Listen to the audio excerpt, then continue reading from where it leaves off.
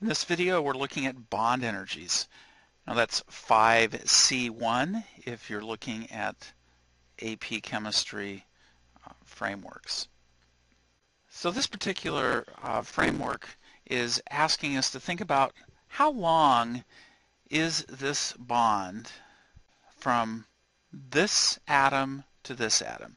So if we call this atom A and this atom B, that bond length is the position around where these atoms vibrate. You know, they're in constant motion and maybe a little further apart sometimes, a little closer together. They're moving around in circles.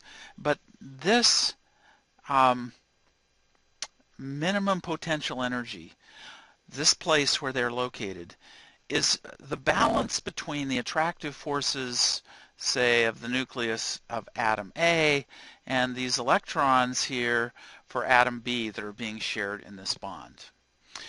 But there's also, if you try to push them closer together, there's going to be repulsive forces between the nuclei or between the electrons of atom B and the electrons that are here in the core of atom A. So by definition, bond length is that distance that they find those two forces at equilibrium. Now if you have two atoms that are far apart, they feel no attractive force. There is no attractive force between them, nothing to pull them closer together. But if they come somewhere closer together, the amount of potential energy decreases. And so we're seeing a decrease here. You could also think of that as it's going to take more kinetic energy to pull them apart. So the atoms will naturally be attracted, the nucleus of one atom for the electrons in the other atom.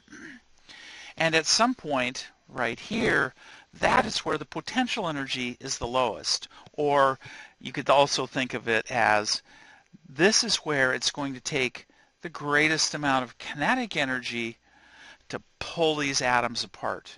The depth of this well right here, the depth of that well is the bond energy approximately. That's how much kinetic energy it's going to take to pull these atoms apart. If we try to push them even closer together, there's going to be repulsive forces of the neutrons of one atom excuse me, there's going to be repulsive forces of the electrons of one atom and the electrons for the other. And so the potential energy increases, or we should say the kinetic energy that required to pull them back a little bit further apart decreases. By definitions, it is important to understand that breaking a bond requires an input of energy, so the system, that bond, would have a positive change in enthalpy. So by definition, bond breaking is always a positive number. Bond breaking always requires an input of energy. So if you're going from O2 and splitting the O2 apart just to make two oxygens, that's going to require an input of 495 kilojoules per mole.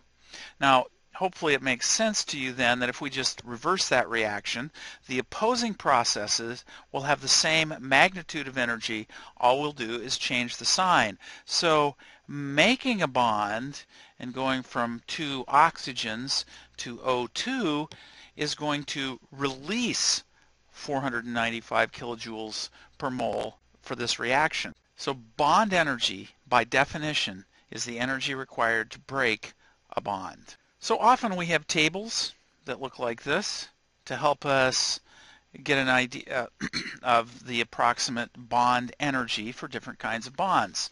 And you'll notice here, of course, that the bond energy for a double bond between two carbon atoms is different than the bond energy for three covalent bonds between two carbon atoms.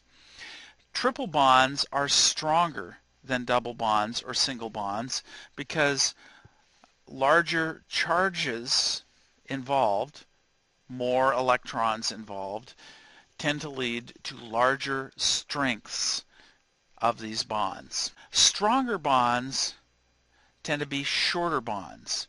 And so you'll notice that as you go from single bonds to double bonds to triple bonds, you see that the bond length is becoming shorter, 154, 134, 120, in this case of single, double, and triple bonds between two carbon atoms.